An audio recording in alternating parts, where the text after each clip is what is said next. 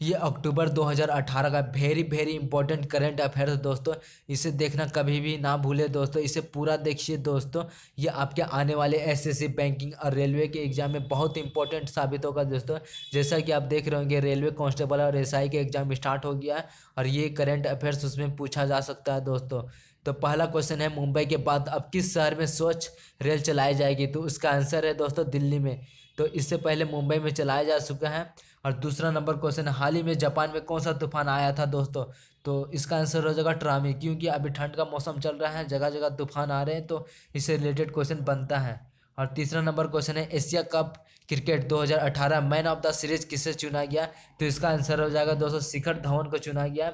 और चौथा number question हो जाएगा अंतर्राष्ट्रीय अहिंसा दिवस के अवसर पर किसने नया डाक टिकट जारी किया है दोस्तों? तो इसका आंसर हो जाएगा यू एन ओ ने जारी किया है दोस्तों।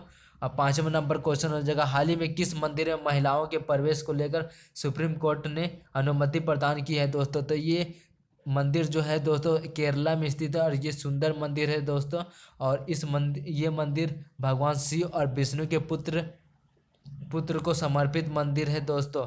तो इसका आंसर जान लीजिए दोस्तों, इसका आंसर है सबरीमाला मंदिर। ये हाल ही में चर्चा का विषय बना हुआ था सुप्रीम कोर्ट में। ये बहुत सालों से, बीस, लगभग बीस से पच्चीस साल से सुप्रीम कोर्ट में लटका हुआ केस था दोस्तों। इसमें महिलाओं का अंदर नहीं जाने दिया दिया जाता था दोस्तों। में महिलाओं को पूजा अर्चना नहीं किया जाता था। इसके बारे में एक सेपरेट वीडियो भी बनाया है दोस्तों। अगर आप जानना चाहते हैं ज़्यादा डिटेल्स तो हमारे चैनल में विज़िट करके देख सकते हैं दोस्तों। तो अगला क्वेश्चन है, हाल ही में किस संस्थान को देश का सबसे स्वस्थ संस्थान घोषित किया गया? तो उसका आंसर हो जाएगा महर्षि दयानंद यूनिवर्सिटी हरियाणा को घोषित किया गया है दोस्तों। और सातवां नंबर क्वेश्चन होगा क्वेश्चन होगा, विश्व में पहली बार कहाँ टेस्ट ट्यूब तकनीक द्वारा शेर के बच्चों का जन्म हुआ है? तो उस देश का नाम है दोस्तों, दक्षिण अफ्रीका, साउथ अफ्रीका नाम है। और आठवां नंबर क्वेश्चन हाल ही में किस राज्य सरकार ने चाय बागानों में कार्यरत महिलाओं को मातृत्व लाभ देने की घोषणा की है।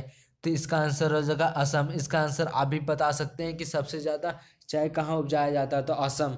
तो ये इस इससे आप पता लगा सकते हैं कि असम। उसके बाद बंगाल में किया जाता है, उसके बाद तमिलनाडु में किया जाता है चाय की खेती। तो आप इस बात को ध्यान में रखिए और नौवा नंबर क्वेश्चन हो जाएगा, हाल ही में किस हवाई अड्डे को सर्वश्रेष्ठ यानी हवाई अड्डा का पुरस्कार दिया गया। बेस्ट हवाई अड्डा बताया गया है। किस हवाई अड्डा को? तो आंसर हो जाएगा इसका अहमदाबाद और इंदौर के हवाई अड्डे को बेस्ट हवाई अड्डा का पुरस्कार मिला हुआ है। और दसवां नंबर क्वेश्चन हो जाएगा, हाल ही में केंद्र सरकार किस कंपनी के साथ मिलकर लू रिव्यू अभियान चलाया है? तो उस कंपनी का नाम है Google.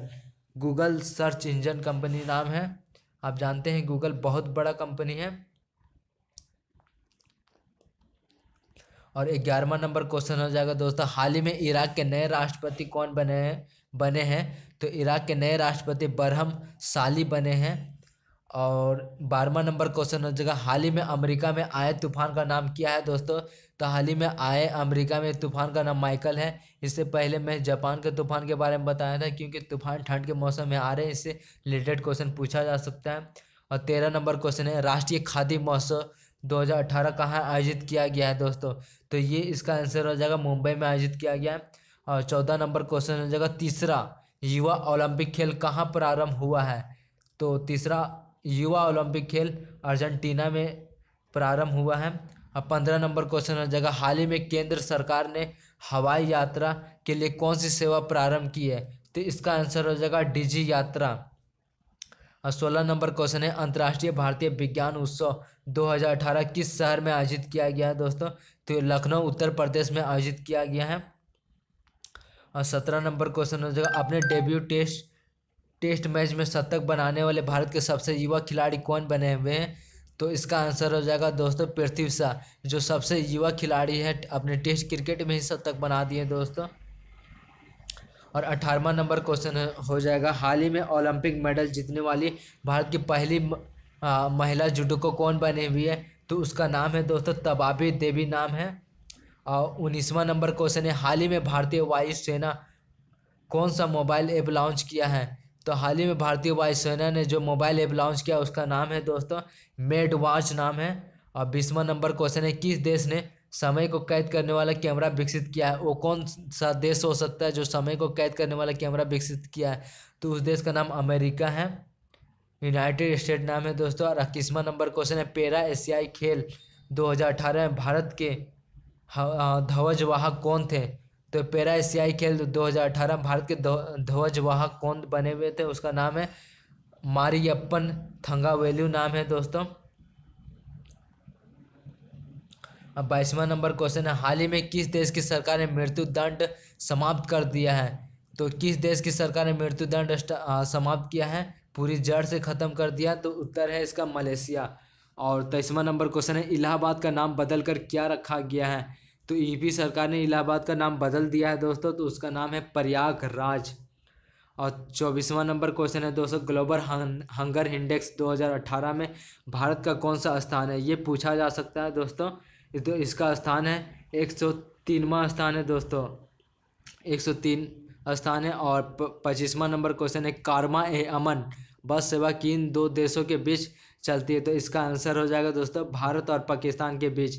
तो कारमा ए ए अमन से याद रख सकते हैं दोस्तों, ऐसा ऐसा लड़ाई कहाँ हो सकता है? कारमा ए अमन से याद रखिए, बहुत बड़ा लड़ाई हो हो रहा है। तो वो बस सेवा लेकिन है तो भारत और पाकिस्तान के बीच शुरू किया गया है। और छब्बीसवा नंबर क्वेश्चन है टिकट बुकिंग के दौरान ये क्वेश्चन रेलवे में पूछा जा सकता है तो इसे आप ध्यान से याद कर लीजिए या सुन लीजिए। टिकट बुकिंग के दौरान समस्या का जवाब देने के लिए आईआरसीटीसी की वेबसाइट पर कौन सा फीचर जोड़ा गया है दोस्तों? तो इसका आंसर हो जाएगा आस्क दिशा। और सत्ताईसवा नंबर क्वेश्चन हो जाएगा, सियोल शांति पुरस्कार 2018 किसे दिया गया है? तो इसका आंसर हो जाएगा दोस्तों, नरेंद्र दामोदर दास मोदी को दिया गया है। नरेंद्र मोदी हमारे प्रधानमंत्री का पूरा नाम है दोस्तों। और अट्ठाईसवा नंबर क्वेश्चन है, रेलवे ने अपने सफ़ाई कर्मचारियों के पद सफ़ाई वाला का नाम बदल कर क्या रखा है? तो इसका आंसर हो जाएगा हाउस कीपिंग सहायक रखा है दोस्तों। और उनतीसवां नंबर क्वेश्चन हो जाएगा, किस राज्य में सुरंग के अंदर देश का पहला रेलवे स्टेशन बनेगा? तो उस स्टेशन का नाम है दोस्तों, हिमाचल प्रदेश में बनेगा दोस्तों। और तीसवा नंबर क्वेश्चन है, स्टैचू ऑफ़ यूनिटी। किस व्यक्ति को समर्पित विश्व की सबसे ऊँची मूर्ति है? हाल ही में प्रधानमंत्री नरेंद्र मोदी ने तो इसकी शुरुआत किया है। और ये वल्लभ भाई पटेल की एक बहुत बड़ी मूर्ति है दोस्तों। ये नर्मदा नदी के एक टापू पे स्थित है दोस्तों और ये गुजरात में है और इसकी लंबाई दोस्तों लगभग एक सौ बिरासी मीटर है। स्टैचू ऑफ़ लिबर्टी से भी बड़ी है दोस्तों और ये भारत में स्थित है। और इकतीसवा नंबर क्वेश्चन है दोस्तों, बहुत अच्छा क्वेश्चन है। और लास्ट क्वेश्चन है, सौर संचालित रेलवे स्टेशन भारत में कहाँ है? तो ये क्वेश्चन पूछा भी गया था रेलवे में दोस्तों, इसका आंसर है गुवाहाटी। और दोस्तों, इस प्रकार के रेगुलर वीडियो अगर पाना चाहते हैं तो हमारे चैनल को अभी तुरंत सब्सक्राइब कर ले और बेल आइकन को भी दबा दें, जिससे रेगुलर वीडियो आपको सबसे पहले मिला करेंगे। और नवंबर, अक्टूबर और दिसंबर से रिलेटेड अगर वीडियो देखना चाहते हैं करेंट अफेयर्स का तो हमारे चैनल विज़िट कर सकते हैं। और एजुकेशन या कंपटीशन से रिलेटेड किसी भी प्रकार का वीडियो देखना चाहते हैं तो हमारे चैनल विज़िट करते रहिए दोस्त। तो दोस्तों, हँसते रहिए और हंसाते रहिए और डेली हमारा वीडियो सुबह छः से लेकर नौ बजे के बीच पाते रहिए। तो जय हिंद।